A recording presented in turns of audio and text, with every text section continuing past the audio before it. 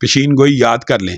ये पंजाब में से एक सीट भी नहीं जीत पाएँगे। आपके पास कोई सोर्स है तो ये तो बहुत बड़ा अलमिया और दर्दनाक और बड़ी अफसोसनाक खबर है। मैं दौर में क्लैश ऑफ़ सिविलाइजेशन का जो ख़तरा है, वो उसकी बुनियाद मज़हब होगा। ये निशान नहीं होना चाहिए जी जितात का नाम नहीं होना चाहिए जी सीट एडजस्टमेंट होनी चाहिए। मैं तो वो ये कहते हैं कि यार इन्हें तो जितना ही नहीं, मौलवी ने ऐसी वोट ज़ाया क्यों करिए? तो अपनी अपनी फ़िका की बालादस्ती को छोड़ें। मुल्क में फाशी नहीं होनी चाहिए, उरियानी नहीं होनी चाहिए, सूद नहीं होना चाहिए डकैती नहीं होनी चाहिए, चोरी नहीं होनी चाहिए, इन बातों पे इतफाक़ है। बसमीम ये जो बात आपने की है ना, मैंने इसलिए बिस्मिल्लाह पढ़ी है कि ये काम अल्लाह ताला इसमें शायद बरकत डाल दे। बिस्मिल्लाह आप देख रहे हैं यूट्यूब चैनल और मैं हूँ यासर सुल्तान। आज के प्रोग्राम में मेरे साथ हैं अलामा शामला ज़हीर साहब। किसी तारफ़ के मोहताज नहीं हैं और बड़ी मुश्किल से वक्त मिला है। एन उस वक्त पे जब इलेक्शन करीब है और बड़ा ही अहम इंटरव्यू है जी। आप इसको एंड तक लाजमी देखिएगा और अपनी राय का इजहार लाजमी कीजिएगा। और कुछ ज़रूरी चीज़ें भी हैं उनको शेयर करना मत भूलिएगा। अस्सलाम वालेकुम वरहमतुल्लाहि वबरकात कैसे हैं अल्लाह का करम अल्लाह का एहसान। अच्छा लम्हा साहब सबसे पहले तो मैं ये जानना चाहता हूँ कि फ़लस्तीन का एक इशू है उम्मत मुसलमा के ऊपर अनपढ़ है। कश्मीर का भी आया था और वक़्त के साथ माद पड़ गया आज हम कश्मीर को भूल चुके हैं कि वहाँ पर कर्फ्यू लगा जो हालात हैं। अब फ़लस्तीन है। वक़्त के साथ साथ ये आप भी मानेंगे कि ये भी ठंडा पड़ गया आज उम्मत नहीं इसके ऊपर बात कर रही। क्या वजह है? बिसमीम ये तो बड़ा अलमी है और बड़ा अफसोसनाक मुकाम है पूरी उम्मत के लिए कि फ़लस्तीन का मसला आज किसी भी इस्लामी मुल्क का मसला नहीं रहा। आज किसी इस्लामी वतन का मसला भी नहीं है।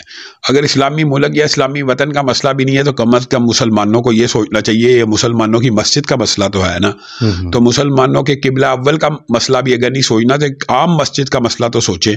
तो अगर एक आम मस्जिद का मसला भी सोचते तो फिर भी मुसलमान उम्मत पूरी की पूरी बेदार हो जाती। वो मुसलमान उम्मत जिसका माजी इस बात का गवाह है कि बर सगीर के ऊपर हमला मोहम्मद बिन कासम ने एक बेटी की पुकार पर किया। तो काबा की ये बेटियाँ और बैतुल मकदस तो आपको पता है उन तीन मसाजिद में जिसकी फजीलत और मनाकब कुरान सुन्नत से साबित हैं। तो बहरहाल ये तो एक बहुत बड़ा अलमी है और जहाँ तक आपने ये बात की है कि ये मसला सत्तर अस्सी सालों के बाद ठंडा होता नज़र आ रहा है मैं ये समझता हूँ ये बात दुरुस्त है लेकिन इस वक्त यह मसला एक पूरी शद्दोमत के साथ और पूरी कुत के साथ पूरी दुनिया के सामने खड़ा हो गया और ये बात बहरहाल इस मसले से आप समझ आइए कि आइंदा आने वालों आने वाले दौर में क्लैश ऑफ़ सिविलाइजेशंस का जो ख़तरा है वो उसकी बुनियाद मज़हब होगा। और क्लैश ऑफ़ सिविलाइजेशंस के अंदर भी जो बुनियादी मेन आप ये समझ लें फ्रीक होंगे, उनमें मुसलमान, यहूदी और ईसाई लाजमी होंगे। और ये कदिया और ये मसला अब बहरहाल इस सतह पे उठ चुका है कि मैं ये समझता हूँ कि मुसलमानों को पूरी कुत और ताकत से बेदार होकर एक मरतबा इस मसले को अब हल कर लेना चाहिए। मतलब कब आपको कितनी देर नज़र आ रही है? क्योंकि जो उधर हालात है ना आज तो हमारा मीडिया भी बात करने से खामोश हो चुका है। कोई नहीं बात करता। और 500 मिलियन डॉलर अभी दो तीन दिन पहले की बात है, हमारे मीडिया को मिल चुका है, यहूदी मीडिया से। तो कैसे बात होगी? बुनियादी तौर पे इसका तो मुझे इन्फॉर्मेशन नहीं है कि मिल चुका है, लेकिन अगर आपके पास कोई सोर्स है तो ये तो बहुत बड़ा अलमिया और दर्दनाक और बड़ी अफसोसनाक खबर है। मैं ये समझता हूँ कि इन जिस तरह पूरी मुसलमान उम्मत ने फ़लस्तीन के मसले के ऊपर बहरहाल ना गुफ्ता बेहलात के बावजूद एक बेदारी का सबूत दिया हम्म। सिर्फ़ वतन हदीस पाकिस्तान के अंदर तमाम दीनी जमातों ने इतनी इतनी बड़ी रैलीज का और इतने इतने बड़े योम यकजहती फ़लस्तीन मार्च का जो ऐलान किया है नहीं वो तो कम हो रहे हैं लेकिन अल्लाह के फजल करम से उन्होंने बेदारी का सबूत दिया हम्म। और यही होता है कि अब हमने इस साइड पे, इस पलड़े पे अपना वज़न रखना और इस तरफ़ अपना रुझान रखना। तो मैं ये समझता हूँ, अगर सारी मुसलमान उम्मत आज इस मसले को इस तरह डील करे कि कोई हमास नहीं है, कोई सल्फी नहीं है, कोई जी एंटी अखवानी नहीं है, कोई जी अखवानी नहीं है, ये सारे मसले अगर इस तरह सॉल्व हो के मुसलमान उम्मत एक हो मुस्लिम हरम की पासबानी के लिए तो इन ये मसला हल हो जाएगा। चलें, काफ़ी मुश्किल नज़र आ रहा है, लेकिन इलेक्शन करीब आ रहे हैं। तो आप नहीं समझते कि इस इलेक्शन के अंदर ये जितनी भी जमातें निकली हैं, रैलियाँ निकाली हैं तो इन जमातों को अगर इकतदार मिल जाए तो फिर किसी के, इनको ना तरले मिनतें नहीं करनी पड़ेंगी। ये फ़लस्तीन खुद ही चले जाएँगे, जैसे इनका बयानी है। तो आप समझते हैं कि इस इलेक्शन में जान मार देनी चाहिए। बिस्मिल्लाहिर्रहमानिर्रहीम। ये जो बात आपने की है ना, मैंने इसलिए बिस्मिल्लाह पढ़ी है कि ये काम अल्लाह ताला इसमें शायद बरकत डाल दे और बिस्मिल्लाह की बरकत डाल दे। बुनियादी तौर पे ये जो आपने सवाल किया ना, मजहबी जमातें जो रैली निकाल रही हैं, इनको इकतदार मिल जाए। अल्लाह करे इनको इकतदार मिले। लेकिन ये इकतदार मेरी नज़र में उस वक़्त तक मिलना नामुमकिन है, जब तक ये खुद एक प्लेटफॉर्म के ऊपर और खुद एक दूसरे के साथ इतिहाद नहीं करेंगे। मैं इस फ़ील्ड के अंदर कमो बेच दो साल से मजहबी जमातों को एक करने की स्ट्रगल और तगोदो कर रहा हूँ। और मुझे अब बाकी ये अंदाज़ा हुआ ये एक बहुत मुश्किल काम है। और बड़े बड़े छोटे छोटे जो हैं वो छोटी छोटी बातों के ऊपर इतिहाद नहीं हो पाता। हम्म। ये बहुत बड़ा दुख है अलमी है। देखें कुरान एक है रसूल एक है मकसद एक है कौद एक है कि मुल्क के अंदर चलें अपनी अपनी फ़िका की बालादस्ती को छोड़ें। मुल्क में फाशी नहीं होनी चाहिए उरियानी नहीं होनी चाहिए सूद नहीं होना चाहिए डकेती नहीं होनी चाहिए चोरी नहीं होनी चाहिए इन बातों पे इतफाक है।